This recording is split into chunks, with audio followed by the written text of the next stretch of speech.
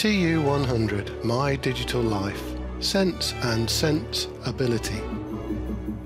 Selection, also known as branching, occurs in a computer program when the instructions to be executed depend on the situation. The circumstances that determine each possible course of action are formulated as Boolean expressions, which you met in previous videos. In the context of selection, such an expression is often referred to as a Boolean condition because what gets executed next is conditional on the value of the Boolean expression. All modern programming languages provide programming constructs to implement selection. In Sense, selection is provided by these blocks, and we'll now look at each of these in turn. The if block is located in the control palette and looks like this. As you can see the block has a hexagonal recess denoted by these angled brackets in the text that accept a hexagonal block. Such blocks are Boolean expressions such as those formed by using the comparison blocks less than, greater than and so on. So the angled brackets denotes the position of the if block's Boolean condition. The curly brackets denote the jaws of the if block. Other blocks can be inserted between the jaws of this block. An if block works as follows. Sense evaluates the Boolean condition in the hexagonal recess. If the result is true, Sense executes any blocks between the jaws of the if block. If the result is false, Sense ignores any blocks between the jaws and moves to the next block in the stack, if there is one, below the lower jaw. By the time he completed the last polygon drawing program, it was fairly sophisticated, but it can now be improved. The current version of the program will attempt to draw a polygon with any number of sides. However, there are no polygons with fewer than three sides, so it would be preferable to restrict the number of sides to three or more. This is the focus of what we're going to do now.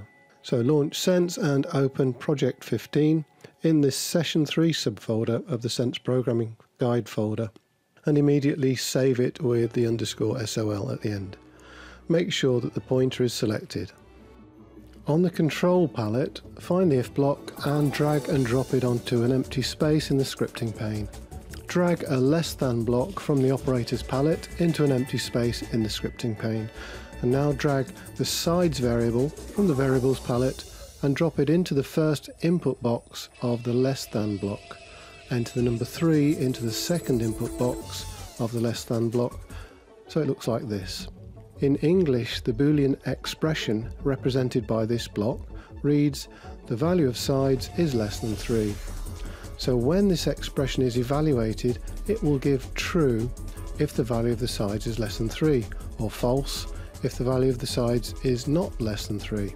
Take the sides less than 3 block and drop it into the hexagonal recess of the if block. So it looks like this. We now need to specify what the program should do if the user enters a number of sides that's less than 3. And a simple way to handle this is to set the value of sides to 3 so that the program will draw triangles by default. Go to the variables palette and drag and drop a set block between the jaws of the if block.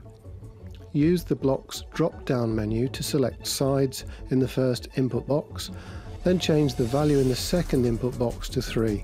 The if block should now look like this. Now drag the completed if block into the script and place it directly under the first set block, the one that sets sides to the number entered by the user. Having decided on this restriction, it's sensible to advise the user of it in advance of their input. So change the message in the first set block to this.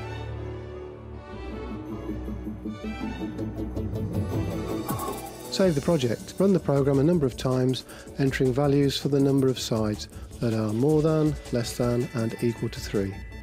Let's just take a minute to reflect on what's happening here. If an if block's boolean condition evaluates to true, any blocks between its jaws are executed. In this program, if the number of sides entered by the user is less than 3, that is, if the condition sides is less than 3 is true, then the number of sides is reset to 3. The block set sides to 3 is executed.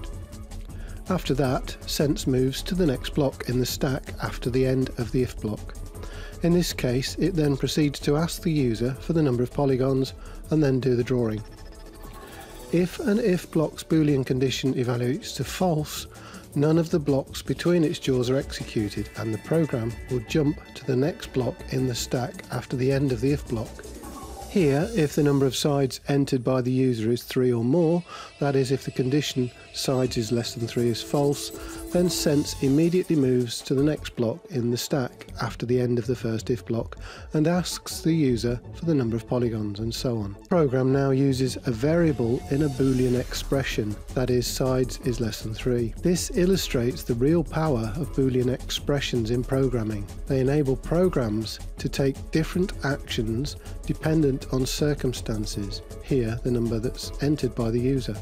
And these are circumstances that are not known when the program is constructed. That's all for this video. In the next video, we'll look at the if-else block. Bye for now.